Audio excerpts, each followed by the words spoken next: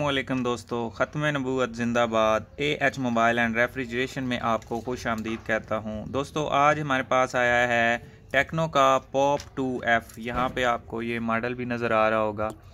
तो इस मोबाइल का सिर्फ़ टच चेंज करना है, पूरा पैनल नहीं चेंज करना। इसकी ये एलसीडी ठीक है, ये टच क्रैक है, वैसे काम कर रहा है अभी भी, लेकिन कस्टमर कह रहा है कि चेंज करना है क्योंकि ये शीशा क्रैक हो गया। तो हमने इसका दूसरा टच ला के रखा हुआ है। ये यहाँ पे आप देख सकते हैं, ये इसका दूसरा टच है। नया हम ये इसके ऊपर लगा के आपको दिखाएँगे और 100 परसेंट वर्किंग भी करेगा। तो पैनल अगर मुकम्मल एलसीडी ख़राब हो जाए तो फिर आपको पैनल ही डलवाना पड़ेगा। लेकिन अगर आपका शीशा टूट गया तो आपका ये शीशा रिप्लेस हो जाता है। अब हम क्या करेंगे? ये वाला टच नया जो मैंने पहले चेक किया हुआ है। तो अब जो स्क्रीन के ऊपर ना ये लगी हुई है डॉट्स ये असल में कस्टमर खुद ही खोल के ले आया है। तो सिर्फ़ टच चेंज करना था तो वो सोच रहा था कि शायद टच वो खुद ही चेंज कर लेगा तो फिर टांके भी लगते हैं, आप दोस्तों को पता है इसमें। तो इसलिए फिर यहाँ पे जमा करवा गया। तो अब हमने इसकी ये एलसीडी क्लीन करनी है अच्छे तरीके से, और उसके बाद फिर इस टच को अप्लाई करना है।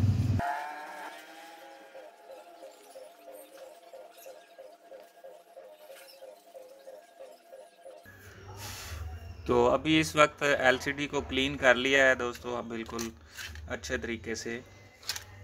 तो इसको लगाने का तरीका ये है कि सबसे पहले हमने, ये देखें, यहाँ पे टच के पॉइंट होते हैं जो इस के ऊपर ये बने हुए हैं। तो हम यहाँ से थोड़ा सा ना इसको काट लेंगे। तो ये देखें, यहाँ से हमने इसको कटिंग कर लेनी है।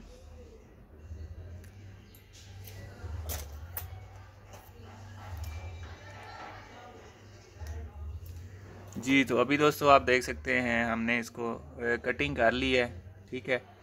अब इसके पॉइंट जोड़ देते हैं यहाँ पे।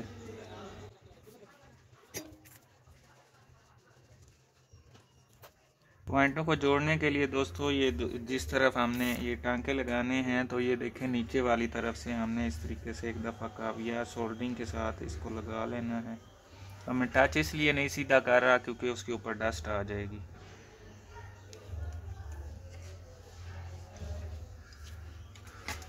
उसके बाद दोस्तों यहाँ पे ये देखें नीचे मैं रख के ना इसको टांका लगाने लगा हूँ।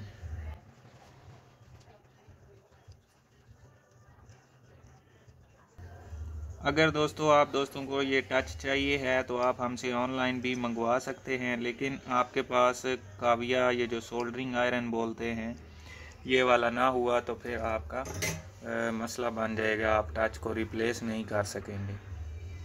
ठीक है? तो अभी टच इसके ऊपर फिटिंग करने से पहले ये मैंने टांके देख सकते हैं बिल्कुल क्लियर तरीके से इसको बिल्कुल साफ़ लगा लिए हैं। एक दफ़ा हम यहाँ से ना क्लीनर की मदद से इसको साफ़ भी कर लेते हैं ये टिशू पेपर के साथ। ठीक है? और ये मैं इसने केसिंग के अंदर इसकी फ़िटिंग करके ना एक दफ़ा चेक कर देता हूँ, बल्कि एक और बात भी आपको बतानी थी। कि इसके ऊपर ना टेप भी लगानी है जहाँ पे हमने टांका लगाया है, ठीक है? छोटा सा ना टुकड़ा काट के बस आप लगा दें ताकि ये शार्ट ना हो।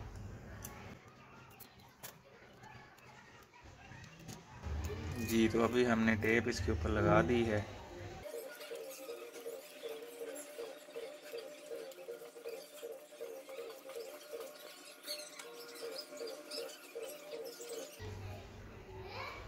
अब दोस्तों फ़ोन हमारा देखें ऑन हो चुका है और ये देखें टच इसका बिल्कुल ठीक चल रहा है। अगर यहाँ पे मैं आपको दिखा सकूँ तो ये देखें सारे इसके पॉइंट चल रहे हैं। ऊपर से ये नोटिफिकेशन पैनल सारा नीचे आ चुका है और ये बैक भी काम कर रहा है। यहाँ से ये देखें कैमरा भी इसका चल रहा है। ठीक है, उसके बाद यहाँ से ये कॉल वाला भी चल रहा है तो ऑलमोस्ट इसका टच बिल्कुल ठीक है वर्किंग में है तो अब हम इसकी फिक्सिंग कर लेते हैं।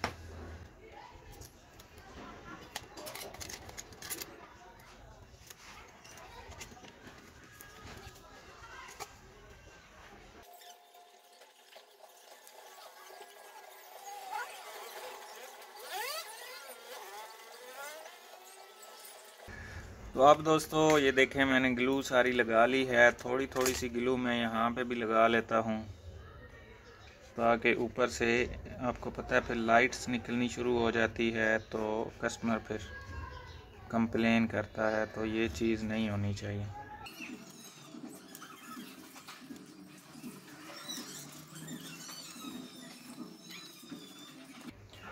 तो अब दोस्तों हमने इसका मुकम्मल फिटिंग वाला प्रोसेस शुरू कर देना है। यहाँ से हम पहले दोस्तों इसकी एलसीडी की ये लगाएँगे फ्लैक्स और उसके बाद इसकी चार्जिंग वाली फ्लैक्स भी यहाँ से निकालनी है। तो चार्जिंग वाली फ्लैक्स थोड़ा सा तंग करेगी यहाँ से निकालते हुए, लेकिन निकाल लेंगे इन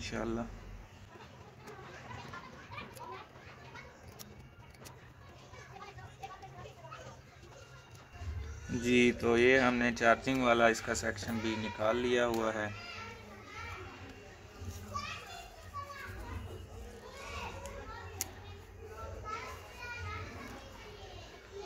तो अब हम क्या करेंगे? सबसे पहले तो हम एलसीडी को नीचे रख देंगे।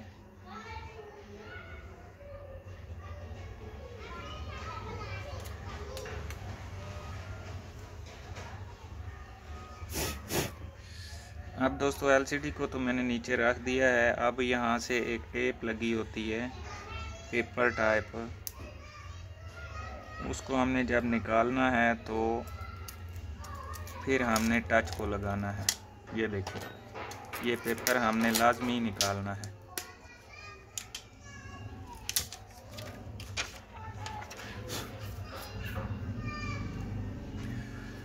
और दोस्तों, यहाँ पे डस्ट काफ़ी है तो ये मैं दोबारा से एक दफ़ा क्लीन कर लूँ।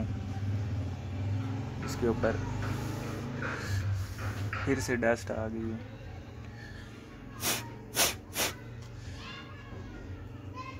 तो एंड पे दोस्तों, हमने ये देखें टच इसके ऊपर रख देना है। बस इतना सारा काम है।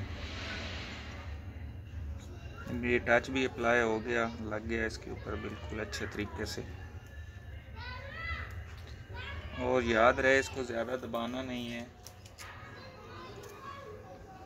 बल्कि ये चीज़ इसकी टाश वाली रह गई है, इसको मैं दोबारा से अभी उठा लेता हूँ, क्योंकि अभी तो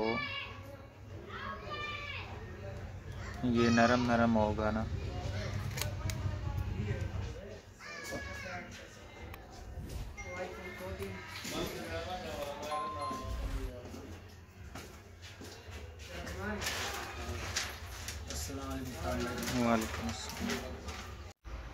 तो ये देखें दोस्तों इसकी टा, फ्रंट टार्च वाला मैंने यहाँ पे शीशा भी रख दिया है।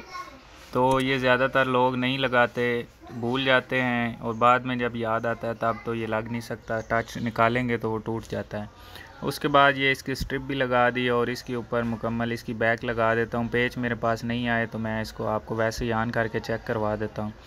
तो उम्मीद है दोस्तों, ये वीडियो आपको पसंद आई होगी। अगर पसंद आई हो तो लाइक करें शेयर करें सब्सक्राइब करें हमारे चैनल को भी। और दोस्तों, मिलते हैं अगली वीडियो में एक नए से ट्रिक्स के साथ। तब तक के लिए A H mobile and refrigeration को दीजिए इजाज़त। अल्लाह हाफिज़, अल्लाह निगेबान। ख़त्म नबूत जिंदाबाद, पाकिस्तान, पाइंदाबाद।